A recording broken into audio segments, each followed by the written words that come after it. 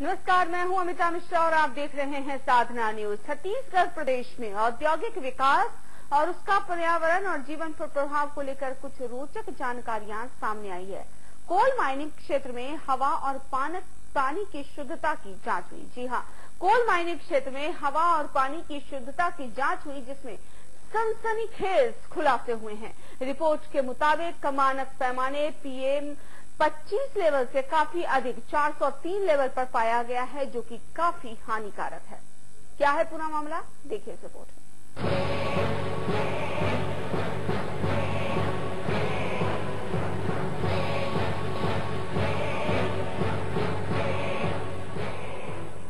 गाँव का हर घर खदान से निकल रहे इस जहर के कारण मौत की आहट से तड़प रहा है।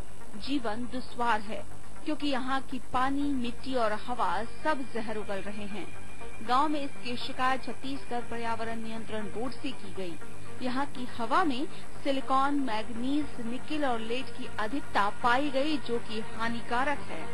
विकास की इबारत लिखने के लिए किसानों की ज़मीन का सीना चीर कर बेतरतीब तरीके से काला सोना निकाला गया।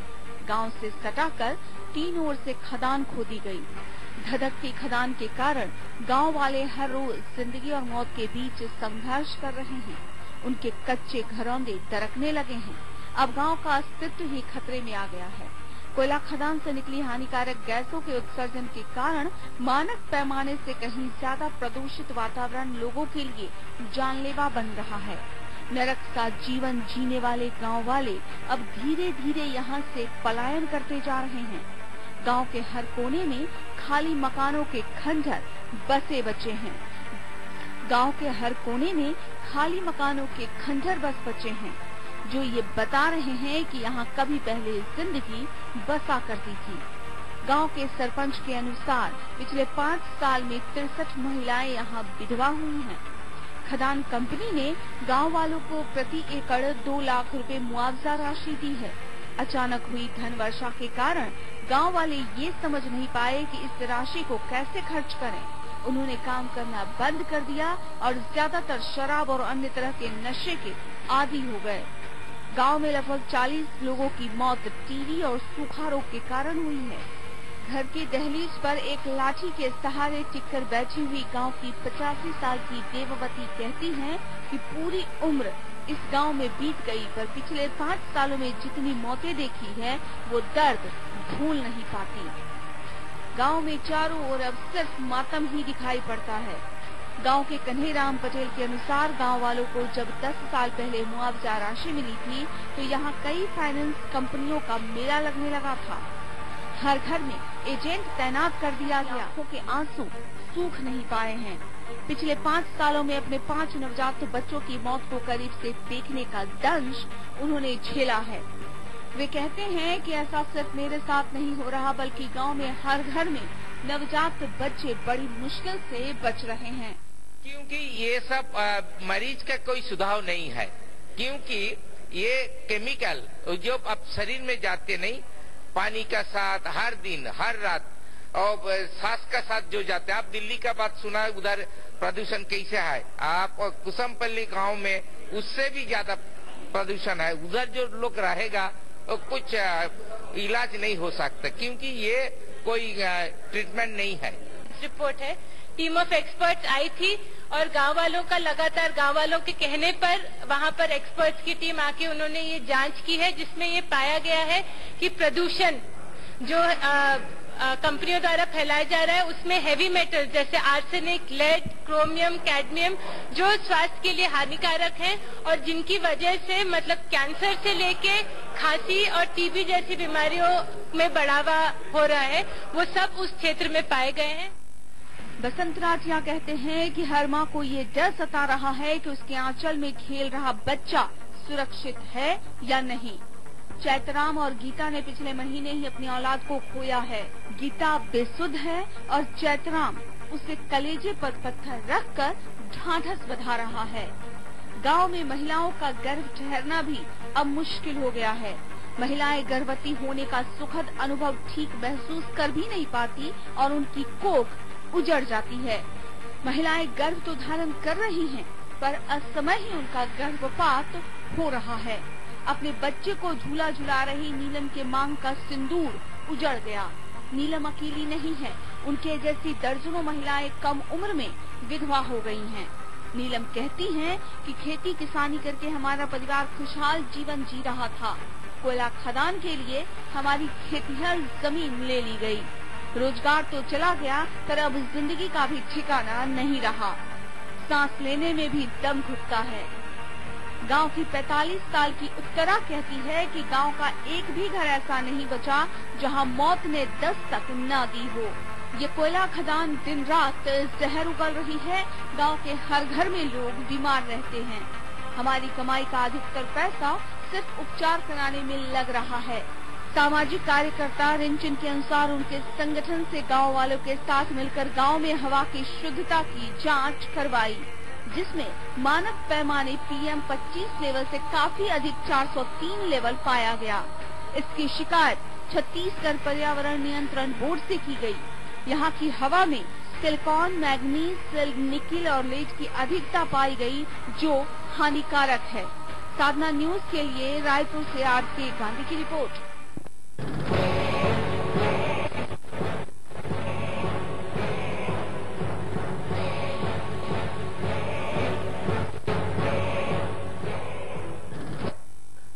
गाँव की हवा में जहर घुल गया है।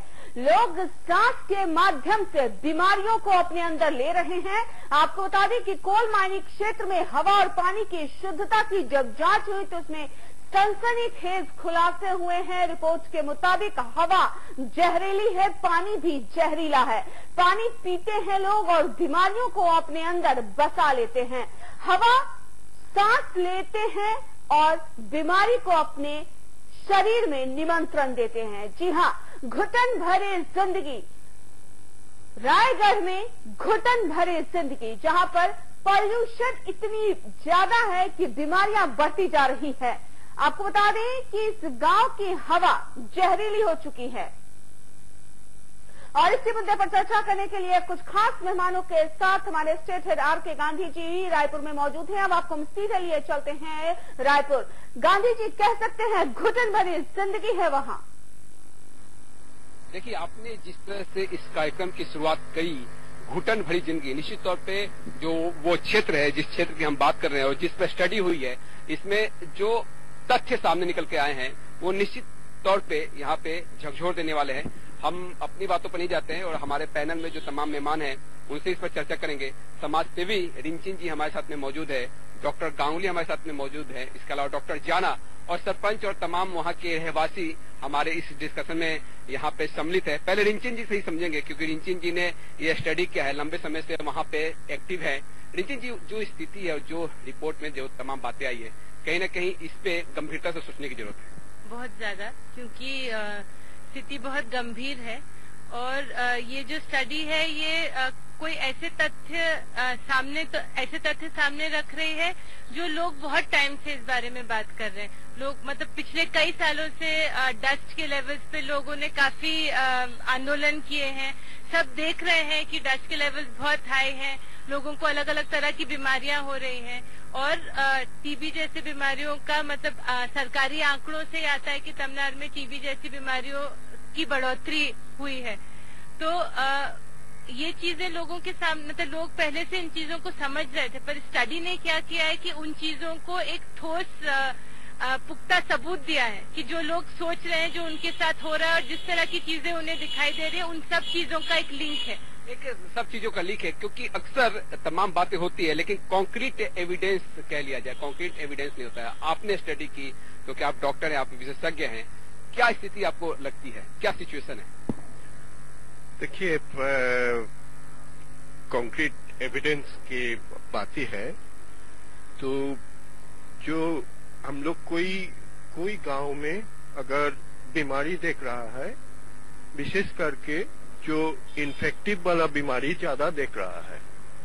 हम झारखंड में, गाँव में काम करते हैं, उधर इन्फेक्टिव बीमारी ज़्यादा है।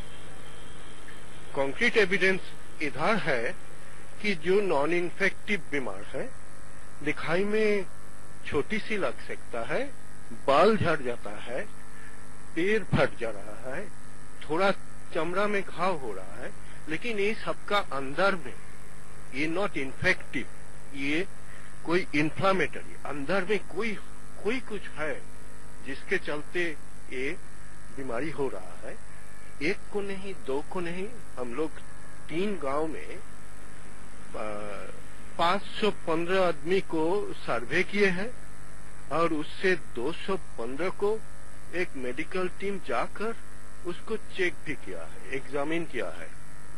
बहुत कॉम्पिटेंट डॉक्टर है, उसमें साइकियाट्रिक्स भी है। तो कॉन्क्रीट एविडेंस यही है कि उसमें मस्कुलोस्केलिटल मतलब कोई मसल की जॉइंट का पेन ये बहुत बेसी कोई खुकी हो रहा है लेकिन खुकी हो रहा है तो हम लोग कफ निकालता है। एक खुक में कफ नहीं निकालता है सूखा खुकी है और उसके साथ सांस लेने में मुश्किल है। ये ये करके हम लोग देखे हैं ऐसा सिचुएशन वहाँ पर क्यों है? क्या क्या आपने कलेक्ट किया था? आपका सैंपल क्या था? और किस सैंपल के आधार पर तमाम बातें निकली सामने? हम लोग देखने गए हैं कि देखिए, ये जहाँ गाँव है, इधर हम लोग दो किलोमीटर के अंदर कोल माइन जो है, कि थर्मल पावर प्लांट है, उसका दो किलोमीटर के अंदर गाँव, तीन गाँव को लिए है। लेकिन ऐसे गाँव है, पचास पचास मीटर की हंड्रेड मीटर बगल में, उसका ओपन कास्ट माइन है। तो हम लोग सैंपल लिए हैं, उसमें क्या है? गाँव में ज़मीन में पानी में आ, हवा में वो बहुत प्रॉपरली कलेक्टेड सैंपल हुआ है। प्रॉपरली कलेक्टेड सैंपल है ज़मीन में हवा में पानी में। डॉक्टर जाना हमारे साथ में मौजूद है। डॉक्टर जाना अगर इसको समझा जाए तो तमाम बातें होती है विकास की तमाम बातें कही जाती है लेकिन विकास का एक ऐसा चेहरा कि जहाँ पे लोग अपनी ज़िंदगी से जद्दोजहद कर रहे हैं। यहाँ पे आप देखिए विकास के लिए तो बहुत सारा काम हो रहा है लेकिन ओपन कास्ट माइनिंग के लिए थोड़ा बातचीत होना चाहिए ज़रूर। क्योंकि ओपन कास्ट माइनिंग के साथ वो जो हेवी मेटल्स है वो आर्सेनिक है क्रोमियम है वो अभी पानी पे वो मिस जाते उसको छोड़ के भी पानी मिट्टी और हवा में उसका जो आ, अभी ये जहर है three two four times higher than the permissible level तो होने को बाद क्या होते? एक तो है कि वो स्किन पर चमड़े पर जो आ, इलाज होते वो एकदम हम लोग जो एग्जामिन किए वो आर्सेनिक पॉइजनिंग के साथ एकदम संपर्क है। दोबारा उधर क्रोमियम जो है नहीं वो भी four times higher than the permissible level तो उसीलिए क्रोमियम एक कार्सिनोजेनिक है, उसमें कैंसर हो सकते। ये तो हवा में जो डस्ट है ना, वो जो पार्टिकुलेट मैटर्स हम लोग बोलते हैं, उसका 2.5 माइक्रोमीटर में जो, वो सबसे स्मॉल पार्टिकल है। अब देखिए, दिल्ली में अभी बातचीत हो रहा है कि उसमें कितने, वो पार्टिकुलेट मैटर है। तीन सौ, साढ़े तीन सौ है। और वो गाँव पे 500 से ज़्यादा है। क्योंकि स्टोरी का हमारा मकसद यही था कि दिल्ली राष्ट्रीय राजधानी दिल्ली में जो स्थिति है उस पर चर्चा हो रही है लेकिन रायगढ़ का एक ऐसा क्षेत्र है जहाँ पे उसका अधिक है दिल्ली से भी भयावह स्थिति है उस पर भी चर्चा होना ज़रूरी है क्योंकि अगर इस पर चर्चा होगी तभी जाकर सोल्यूशन निकल सकता है। यहाँ पे नितिन जी क्योंकि डीएमएफ फंड है डिस्ट्रिक्ट मिनरल्स फंड की बात की जाती है विकास की बात की जाती है कि ठीक है हम वहाँ से मिनरल्स लेंगे माइनिंग का काम होता है लेकिन वहाँ पर विकास के भी तमाम बातें सरकार के द्वारा की जाती है। नहीं, अगर आप विकास की भी बात करें और मिनरल फंड भी रहेगा, पर जहाँ पर अगर लोगों के पर्यावरण में ही जहर घुल जाएगा तो आप कितना भी विकास कर लें, आप अच्छी रोड भी बनाएँगे तो भी जो आपका, जो जहर, हवा, पानी, मिट्टी में है, उसके इफेक्ट्स को आप लोगों के ऊपर कैसे रोक पाएँगे? दूसरा जो जिस विकास की बात कर रहे हैं इस क्षेत्र में तो वो विकास भी नहीं हुआ। अगर आप वहाँ सड़कों की हालत देख लें वहाँ पानी की हालत देख लें तो आपको वो डीएमएफ फंड का जो चकाचौन जिसकी बात करते हैं वो आपको कहीं नहीं दिखेगा। मुझे लगता है गाँव से आए हुए लोग और अच्छे से बता पाएँगे कि उस क्षेत्र में डीएमएफ फंड किस तरह से लोगों के जीवन को बेहतर डीएमएफ के अलावा सीएसआर भी होता है। कंपनियों की अपनी रिस्पॉन्सिबिलिटी होती है सोशल रिस्पॉन्सिबिलिटी उनकी होती है। सोशल रिस्पॉन्सिबिलिटी में आ, कुछ कंपनियों द्वारा पानी दिया जा रहा है पीने का। हमने जहाँ पर अगर आप देखेंगे तो हिंडालको कंपनी जो पानी सप्लाई कर रही है कोड़केल गाँव में, उस उस पानी में भी कुछ परमिसेबल लेवल से ज़्यादा हैवी मेटल्स पाए गए। तो इस तरह से मतलब जहाँ पर सब कुछ ही प्रदूषित प्रदूषित होगा, वहाँ पर ऑफकोर्स कंपनीज़ को अपनी रिस्पॉन्सिबिलिटी लेके उसकी सफ़ाई करने की ज़रूरत है। आ, सरकार को ज़रूरत है कि वो उनके ऊपर उतना प्रेशर डाले कि जो भी वायलेशन है उन वायलेशन के ऊपर वो लोग काबू करें। और दूसरा सरकार को ये देखने की ज़रूरत है कि अब यहाँ पर और माइनिंग ये ये जगह झेल पाएगी कि नहीं। उसके लिए उस उसके लिए कुछ एरिया को तो रेस्ट्रिकेटेड किया गया कुछ एरिया पर तो रेस्ट्रिकेशन लाया गया। अभी तो हमने तो नहीं सुना, बल्कि लोग यहाँ लड़ रहे हैं कोतमपाली सारसमाल के लोग आए जो अभी अपने माइंस की, नई ज़मीन की खुदाई के खिलाफ लड़ रहे हैं। और हमारी एक डिमांड यही है कि अब उनके गाँव में कोई भी नई खुदाई ना हो, क्योंकि पुरानी ने इतना, जो चल रही है, उसने इतना अगर हैवक क्रिएट किया है तो नई खुदाई से तो वो गाँव बच ही नहीं पाएगा हमारे साथ यहाँ पे कुछ रहवासी भी वहाँ के मौजूद है, जो यहाँ पे पहुँचे हुए हैं। किस तरह से आपको वहाँ पे जूझना पड़ रहा है अपनी ज़िंदगी से, वहाँ के वातावरण से, वहाँ की पानी से। जैसे वहाँ का पानी पूरा, बोर का पानी पी रहे हैं जनता लोग तो पूरा लाल लाल निकलता है। और वहाँ जो हवा पानी इतना प्रदूषित हो गया है अब माने छोटे छोटे बच्चे भी सूखा खांसी से पूरा ग्रसित हैं। तो जो बूढ़े हैं और आधा उम्र हैं, वो बोलते हैं कि हमेशा मेरा पैर दुखता है, मेरा कंधा दुखता है, मेरा छाती दुखता है। मेरा पेट दर्द करता है पेट जलन होता है। ऐसे करके कई बार मेरे को शिकायत करते हैं। मैं वहाँ का सरपंच हूँ सारस माल के इस नाते से मेरे को कई बार शिकायत करते हैं। आप तो जनप्रतिनिधि है तो आप अपनी बातों को तो हायर अथॉरिटी तक भी लेकर जा सकते हैं अपनी बात को तो रख सकते हैं। ले, लेके जाते हैं लेकिन कोई प्रशासन भी नहीं सुनता है। और जब कंपनी के पास जाते हैं तो हमको केंद्र सरकार से परमिशन है बोल के वो पूरा नकार देते हैं। कुल मिलाकर यहाँ पे जो अधिकारियों का रवैया है वो भी आप लोगों के साथ में अच्छा नहीं माना जाता। एकदम गलत है। हम तो कई बार पर्यावरण अधिकारी का घेराव भी किए थे रायगढ़ में। उसके बाद में एसडीएम को भी माने चिट्ठी दिए थे। उसके बाद में एसडीएम के यहाँ एक, एक दिवसीय घेराव भी किए थे। इसको मुख्यमंत्री या प्रधानमंत्री के पास मुद्दा को पहुंचाव कहा हम लोग बोले थे। उसके बावजूद भी माने हमारी जनता कोई सुनने वाले नहीं है, विकास के नाम से विनाश बोल रहे हैं, सारे तरफ़ से हम लोग विनाश हो जा रहे हैं। एक तो बहुत बुरी हालत है वहाँ। एक माइंस से हम लोग नहीं झेल पा रहे हैं आज तमनार ब्लॉक में इतना सारा माइंस वहाँ खुलने जा रहा है कि एक गाँव बचने वाला नहीं है। अभी तो अदानी आ रहा है, कहाँ चालीस छब्बीस गाँव जा रहा है, कहाँ चौदह गाँव जा रहा है अभी तो ये बहुत सारी जो बातें हैं, वो कोर कल्पित भी बातें आकर, लेकिन जो कंक्रीट जो चीज़ें हैं जमीनी स्तर पे, डॉक्टर साहब, अगर इसमें हम समझे हवा पानी, आपने इस सैंपल भी लिया, उसकी जाँच भी की, जाँच का मेथड क्या था आपका? किस तरह से आपने इस जाँच को आगे बढ़ाया? नहीं, ये तो पूरा सैंपल जो लेने के, हम किधर से सैंपल लेना चाहिए? ये तो एक चीज़ है। वो एकदम साइंटिफिकली उसका रिपोर्ट हम लोग जो बनाया, जो टेस्ट जाँच हुआ नहीं एक, एक सबसे सेरा लेबोरेटरी से हुआ। तो उसका जो आ, क्या आप लोगों ने इसे रैंडम रखा था? वो तो वो तो एकदम रैंडम रखा। एक जगह नहीं करी करी उसका सैंपल जो माफ़ी सैंपल जो चाहिए नहीं एक जगह के लेने के नहीं होते तो इसीलिए करीब करीब दस जगह में पानी का सैंपल लिया आठ जगह का मिट्टी का सैंपल लाया और प्रदूषण के लिए हवा के, के भी वो भी सैंपल लिया। करीब करीब सात आठ जगह से। तो सब मिलजुल के जो रिपोर्ट हम लोग बनाया, उसका साथ ये जो बीमारी का क्या संपर्क है, ये बहुत गंभीर से आप देखना चाहिए। क्योंकि अब विश्व में जिधर जिधर वो ओपन कास्ट माइनिंग है, उधर भी थोड़ा ये प्रदूषण होता। लेकिन इस ये जगह पे, जो हम लोग काम किया वो स्टडी किए उधर का जो सैंपल का जो प्रदूषण का मात्रा और उसका साथ वो हेल्थ जो हजार्स है, उसका जो परसेंटेज 78 परसेंट आप खुका काशी होता है और कुछ जाने को बाद वो शॉर्टनेस ऑफ़ ब्रेथ हम लोग बोलते हैं। तो वो क्या होता है कि कुछ दिन जाने को बाद वो पूरा लंग्स खत्म हो जाएगा, ज़िंदा नहीं रहेगा, तीस, पैंतीस साल से वो मर जाएगा। तो ये तो आप जो बताया नहीं, ये तो विनाश का काम हो रहा है।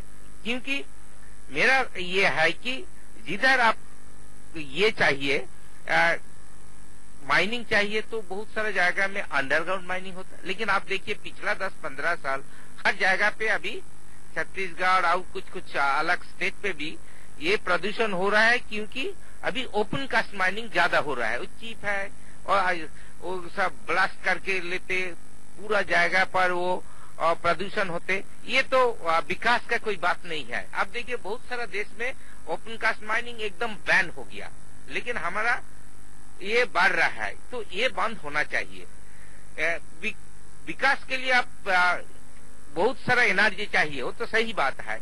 लेकिन अभी रिन्यूएबल एनर्जी का बात, हम लोग बातचीत कर रहे हैं। सोलर एनर्जी का बात विंड पावर का बात। ठीक है कोल भी जब चाहिए लेकिन थोड़ा तो रूल्स रेगुलेशन उसका तो मान्यता देना चाहिए। राष्ट्रीय स्तर पर तो कमेटी भी है जो इस पर हमेशा बैठक भी करती है इस पर चर्चा भी होती है किस तरह से एनर्जी के सेक्टर में काम करने की ज़रूरत है। हाँ वो तो ज़रूर ज़रूरत है क्योंकि अभी देखिए पिछला तीन चार साल इधर जो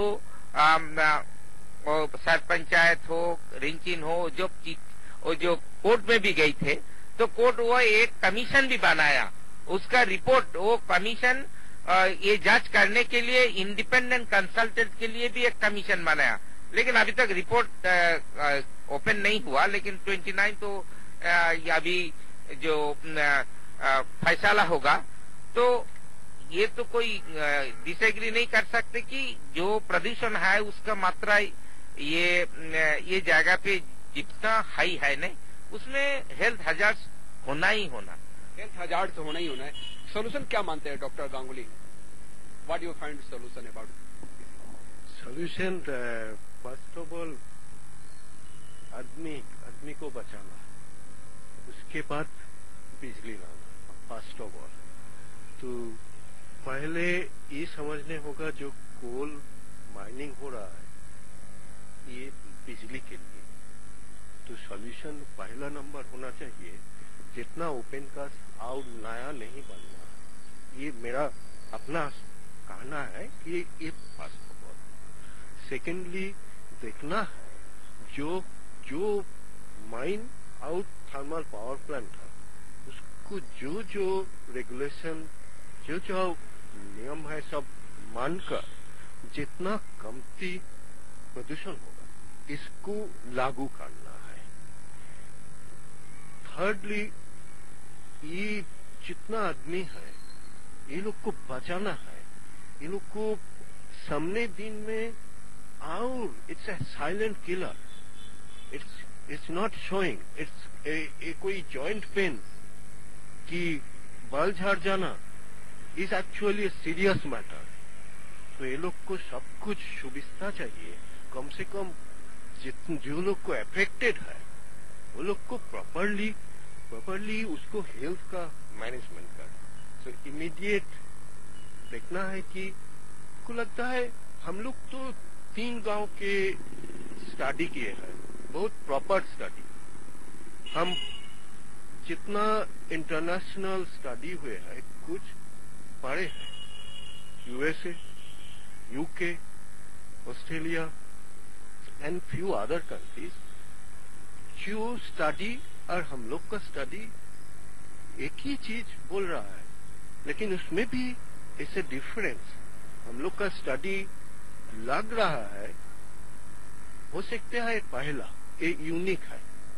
कहें, इसमें हम लोग घर घर जाके पूछे हैं और उसके बाद कॉम्पिटेंट डॉक्टर जो लोग कोई कलकत्ता से आके टीम आके, वो लोग चेक किए हैं एग्जामिन किए हैं। यूनिक इसलिए कि दूसरा जगह में जो मेडिकल रिकॉर्ड है हॉस्पिटल में क्या, वो वो देख के वो कोरिलेट कर रहा है।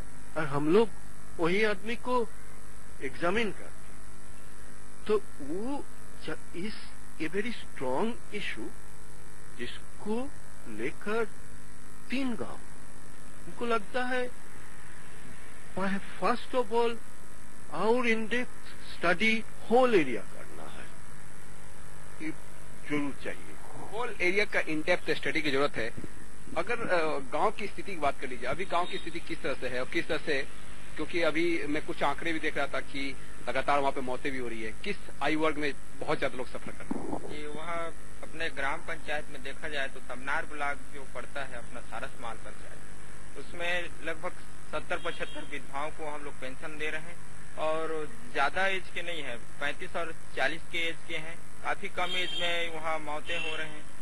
और जैसे छोटे छोटे बच्चे में भी कई प्रकार की बीमारी हो रहा है। जिसको चर्म रोग हो रहा है जिसको पेट का दर्द हो रहा है जिसका छाती का दर्द तो आते हो जो क्या क्या दर्द हो रही क्या क्या रोग हो रहे हैं आप लोगों ने अपनी बात को कहाँ कहाँ रखा? क्या छत्तीसगढ़ में राजधानी पहुंचकर यहाँ पर्यावरण जो संरक्षण मंडल है वहाँ पर बातचीत की? हाँ हम लोग तो काफ़ी जगह में रखे हैं और भोपाल एनजीटी में हमारा केस भी चल रहा है। 2014 2014 में हम लोग केस लगाए हैं वहाँ, चौदह अगस्त तो उतना दिनों से हमारा केस भोपाल में भी चल रहा है। इधर सारे पर्यावरण अधिकारी सभी जगह तो हम लोग इधर लोग माने अवगत कराए, लेकिन कोई ध्यान नहीं दिया। तो बाद में मजबूर होकर हम लोग को भी एनजीटी में केस लगाना एनजीटी में ये मामला है, और दिल्ली में भी जैसा मामला है, वो भी एनजीटी के पास में गया। रिंचिन जी, अगर बात की जाए, जिस तरह सभी कुछ पहल हुए पर्यावरण को लेकर, कि माइक्रो जो पोलोथीन है, उस पर भी बैन लगा यहाँ पे, फिर फ्लैग्स को लेकर भी यहाँ पे बैन लगा तो पर्यावरण को लेकर तो पहल तो हो रही है कुछ चीज़ों पर, लेकिन इसमें और आगे बढ़ने की ज़रूरत है। मुझे लगता है कि अभी जो सबसे बड़ी ज़रूरत है कि जिस तरह से डेवलपमेंट हो रहा है और जिन जगहें, जो ऐसी क्रिटिकली पोल्यूटेड जगहें हैं, उनमें सीसीबी को ज़्यादा जिम्मेदार बनाना, जैसे हमने जो पहले रिपोर्ट दी थी जो एनवायरमेंटल पोल्यूशन की, उसमें देखिए इस तरह से फ्लाई डंप की जा रही है। अगर आप फ्लाई एच जिसको हमने चेक करा है, जिसमें बहुत हाई लेवल ऑफ़ कंटेमिनेंट्स होते हैं, अगर फ्लाई एच को आप पूरे जगह में माइंस को भरने के लिए लो लाइंग एरियाज़ को भरने के लिए करोगे इंडस्ट्रीज़ का, अभी तो एक छत्तीसगढ़ सरकार ने भी अभी एक लिस्ट निकाली है, जिसमें कम से कम पंद्रह डिफॉल्टर इंडस्ट्री जिसमें महावीर टीआरएन जिंदल, हिंडालको सभी हैं, जो अपने फ्लाई मतलब जो पावर प्लांट्स हैं जो अपने फ्लाई एश को यूटिलाइज नहीं कर रहे हैं ठीक से। बहुत सारी कंपनीज़ हैं जो कोयला पानी नदी में बहा रही हैं। तो उनके ऊपर रिस्ट्रिक्शन लगाना, जो कंटेमिनेशन हो चुका है, उस कंटेमिनेशन का प्रॉपर क्लीन अप कराना, उसके लिए एक बड़ी स्टडी की जाए और उसका पूरे, उस जगह का क्लीन अप किया। पॉलिथीन वगैरह तो छोटी चीज़ है, पर जहाँ इतने बड़े बड़े केमिकल्स आपके पानी में और आपकी हवा और मिट्टी में है, उस क्लीन अप की ज़रूरत है। रेगुलेशंस बहुत स्ट्रांग होने चाहिए और सरकारी जो भी हमारे सरकारी एजेंसीज हैं जो अपना काम नहीं कर रही उनके ऊपर भी क्रैकडाउन होना चाहिए इंडस्ट्रीज़ के ऊपर क्रैकडाउन होना चाहिए। और आगे के तो देखिए आप खुद बता रही है कि डिफाल्टर घोषित किया गया कचरा प्रबंधन को लेकर भी उनको फटकार लगाई गई। तो अक्सर इसमें तो मॉनिटरिंग होती रहती है। फटकार लगाना एक बात है। जैसे इन्होंने बताया कि अगर आ, हम इन, इनके गाँव के पास जो माइन है उसको डिफॉल्टर पाया गया। उनसे उनसे कहा गया उन्होंने कुछ करोड़ की पेनल्टी भर दी और माइन को फिर से शुरू कर दिया। तो आपकी प्रायोरिटी क्या है? आपकी प्रायोरिटी माइंस को चालू रखने की है कि आपकी प्रायोरिटी पहले सब कुछ की सफ़ाई कर और कि अभी अभी जो रूल रेगुलेशन लाया गया उसमें ये बातें हो रही थी कि माइनिंग का जो पैसा आएगा उस उसी सेक्टर के विकास में खर्च किया जाएगा। वो पैसा वहाँ से निकाल कर कहीं और भेजने की ज़रूरत नहीं है। सरकार ने जिस तरह से अभी कुछ यहाँ पे नए नियमों में बदलाव किया है। पर उन नियमों के असर हमें नहीं दिख रहे। मतलब अगर सच बोले तो ये स्टडी या जो हम पोल्यूशन के लेवल्स देख रहे हैं अगर पीएम 2.5 साढ़े पाँच सौ है अगर किसी गाँव में तो उसके असर नहीं दिख रहे और जो आखिरी जो हमारी डिमांड जो मतलब जो है कि आगे के लिए जो परियोजनाएँ आ रही उनके ऊपर रोक लगाई जाए। पहले अभी जो है उसको आप ठीक करो अपने घर को ठीक करो अपने लोग कुल मिलाकर ये जो तमाम परियोजनाएँ वहाँ पे चल रही है उस पर रोक लगाने की मांग यहाँ पे तमाम लोग कर रहे हैं। और इसमें हमने तमाम चर्चा की तमाम मेहमानों का मैं यहाँ पे धन्यवाद करना चाहूँगा जिन्होंने इस सार्थक परिचर्चा में तमाम चीज़ों को, जो जमीनी स्तर पर वहाँ पर देखने को मिल रही है, उस पर उन्होंने प्रकाश डाला। Back to studio